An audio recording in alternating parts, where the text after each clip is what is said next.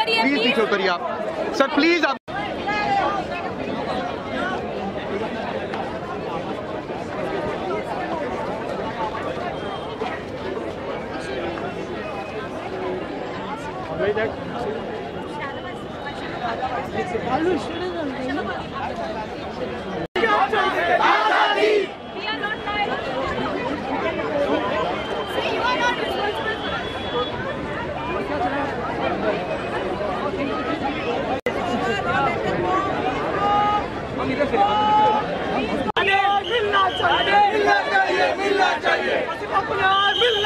मिलना चाहिए मिलना चाहिए।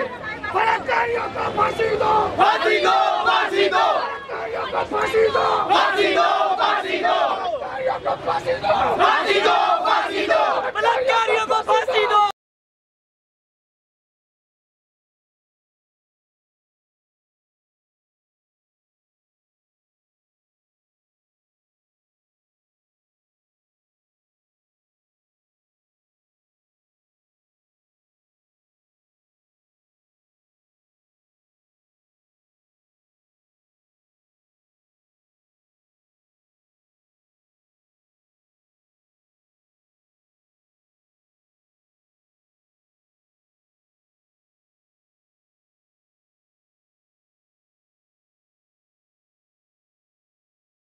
जो आपने इतना बड़ा कैंडल मार्च किया जी। क्या था और आपने क्या प्लानिंग करके किया ये हमने कोई प्लानिंग नहीं की। ये अल्लाह की तरफ़ से था। आज जो हज़ारों और लाखों की तादाद में लोग घाट रोड इकट्ठा हो रहे हैं सिर्फ़ मैंने ये स्लोगन दो दिन पहले बोला था कि अब और कोई लड़की आसिफा ना बने और दो दिन पहले बोला हुआ ये प्रोटेस्ट रखने के लिए। आज लोगों ने जितने फ़िल्म सिता, सितारे वहाँ पे पहुँचे, जो जितने फ़िल्म स्टार वहाँ पे पहुँचे, सब लोग इस चीज़ की निंदा कर रहे हैं। रीज़न ये है क्योंकि आसिफा महज आठ साल की छोटी बच्ची थी। अगर ये ख़ानदानी दुश्मनी थी दोनों के परिवार में, या फिर कोई और पॉलिटिकल मैटर उसके लिए छोटी बच्ची को निशाना बनाना ज़रूरी नहीं था। हमारे देश में बहुत ज़्यादा बढ़ रहे हैं रेप के केसेस। आप दूर क्यों जा रहे हैं? कल ही का देख लो। कल भी एक छः साल की बच्ची के साथ रेप। तो ये जो पॉस्को सेक्शन हम बोलते हैं अंडर एटीन जो अगर किसी का रेप होता है मोलेस्ट होता है under section eight under section four and five it's called POCSO और आसिफा के लिए वही सेक्शन लगाया गया है। लेकिन प्रॉब्लम ये है कि बहुत ज़्यादा निराश है हम देश के उन पुलिस वालों से जो अपनी नौकरी ठीक से नहीं कर रहे हैं। नहीं कर रहे हैं इसके पीछे रीज़न क्या है कि देर वो बोलते हैं ना आ, खेड़ है एकदम गाँव देहात है वहाँ पर। तो गाँव देहात है वहाँ पर के जो ज़मींदार हैं वहाँ के जो फाइनेंशियल स्ट्रॉन्ग लोग हैं उनकी इतनी चलती है कि पुलिस डिपार्टमेंट वहाँ पे कुछ करे तो कैसे करे? क्यों? क्योंकि उनके पास मैन पावर कितना होता है? हज़ार लड़के मैन पावर है, डेढ़ हज़ार लड़के मैन पावर है। ये किन के पास है? ये गुंडों के पास है। लेकिन पुलिस कितनी है उस पुलिस चौकी में? महज बारह पुलिस, चौदह पुलिस, बीस पुलिस मैक्सिमम पच्चीस पुलिस।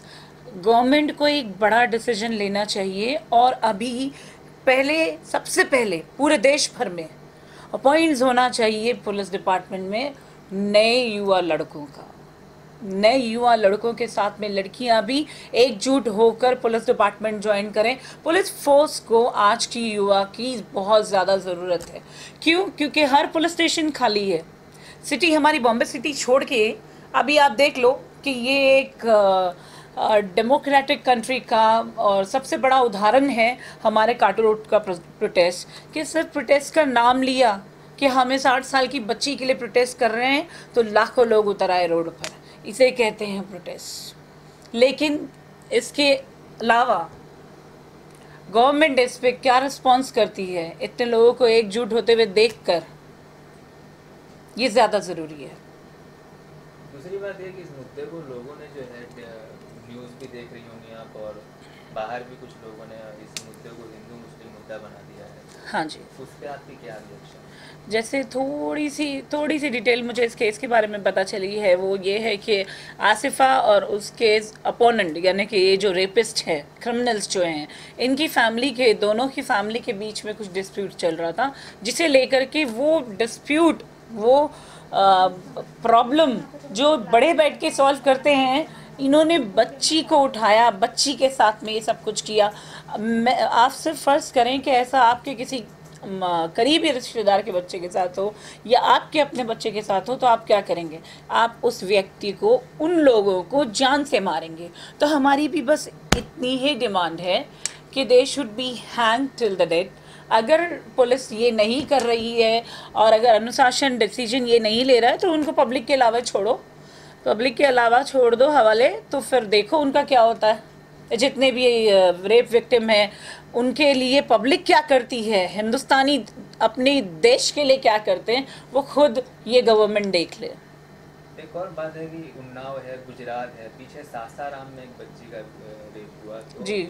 ये अचानक में महीने में छः सात रेप की खबरें आई हैं तो आप कुछ मतलब एक ऐसा मुद्दा हो कि जो पब्लिक इस चीज़ को सॉल्व करे सरकार नहीं सॉल्व कर पा रही है या पुलिस नहीं सॉल्व कर पा रही है या अभी जस्टिस का मैटर चल रहा है कि जस्टिस नहीं कर पा रहे हैं तो कुछ तो रीज़न निकले कि क्यों देखिए, जब तक का कड़ा कड़ा कानून नहीं होगा ना, कड़क कानून तो तब तक कोई तब्दीली नहीं आएगी समाज में।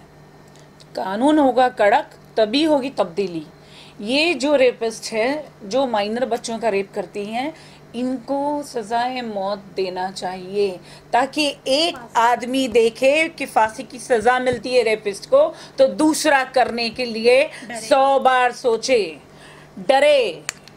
वो रेपिस्ट ना बने। ये लाना भी संविधान में ये कानून लाना भी हमारी ही हमारी ही हिंदुत्व हमारे ही मुस्लिम हमारे ही क्रिश्चन हमारे सारे हिंदुस्तान के लिए ज़रूरी है। आप बोलते हैं ना, हिंदू एकता मंच के लोग खड़े हुए और उन्होंने प्रोटेस्ट किया गुनागार को बचाने के लिए। शर्म आती है कि हमारे कुछ हिंदू भाई ऐसे भी निकल गए जो प्रोटेस्ट कर रहे हैं गुनागारों को बचाने के लिए, वरना हमारे यहाँ, हमारे आसपास में चारों तरफ़ हिंदू भाई रहते हैं और हमारी एकता तो कहीं ना कहीं सरकार कमज़ोर माने इस बात में कि नहीं कर पा रही है। Yes hundred and one percent hundred and one percent सरकार को जिम्मेदार ठहराऊँगी मैं कि सरकार जो वॉयलेंटनेस देखता है वैश्यपन हम जो कहते हैं जो इंसानियत के खिलाफ है जैसे कि ये आज की चीज़ आज हम का हम जो मुद्दा लेकर बैठे हुए हैं वो है आसिफा। तो क्या सिर्फ़ एक ही आसिफा आज तक ऐसे हुई? नहीं। There are so many children who been assaulted rape उनके हक के लिए क्या कर रही है गवर्नमेंट? गवर्नमेंट को फांसी की सजा लौट करनी चाहिए। उन हथियारों के लिए जो किसी भी रेप विक्टिम को रेप करके मर्डर करते हैं, इससे ये होना हमारे देश में ज़रूर बंद हो जाएगा। अब रेप के केसेस से रिलेटेड ही आप लीजिए बात। आज मेरी तबीयत कुछ ज़्यादा खास अच्छी नहीं है, इसलिए मैं प्रोटेस्ट में ज़्यादा देर तक बाहर रुक नहीं पाई। लेकिन मुझे एक चीज़ की खुशी है कि एक आवाज़ लगाया और हमारा मुंबई एकजुट हो गया। एकजुट होके जो हमने प्रोटेस्ट दिखाना था गवर्नमेंट को कि हम चाहते हैं इंसाफ उन छोटी बच्चियों के साथ जिनके साथ में होता है बलात्कार। आप योगी सरकार को ही लीजिए। योगी सरकार, वो एक विधायक को बचाने में लगी हुई है। ऐसा नहीं है कि पुलिस डिपार्टमेंट में सर्वश्रेष्ठ ऑफिसर नहीं है। जिन्होंने परमवीर चक्र हासिल किया, ऐसे ऑफिसर नहीं हैं। जो ऑफिसर अपनी एक्सेलेंस की वजह से जाने जाते हैं, ऐसे ऑफिसर नहीं है। एक केस मैं आपको बताती हूँ, जब बिहार में कुछ इसी तरीका का रेप केस हुआ था और उसमें हमारे डीसीपी हैं अभी वो, हमारे मुंबई में वो डीसीपी हैं वो एंटी नार्कोटिक सेल के, शिवदेव लांडे जी।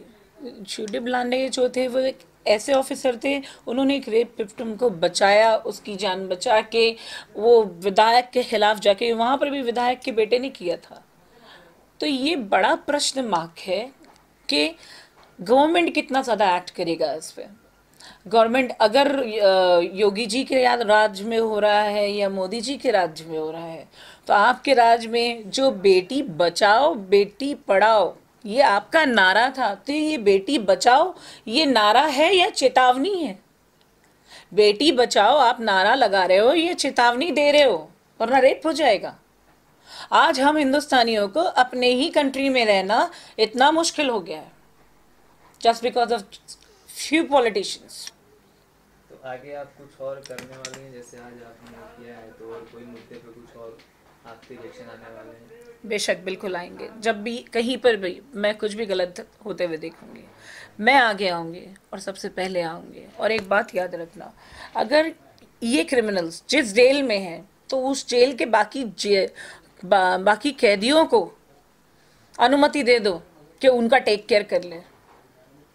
एक बोलते ना एक एक आरोपी को मारने के लिए इतना हमारे हर जेल में हर जेल में चार तो होते होंगे।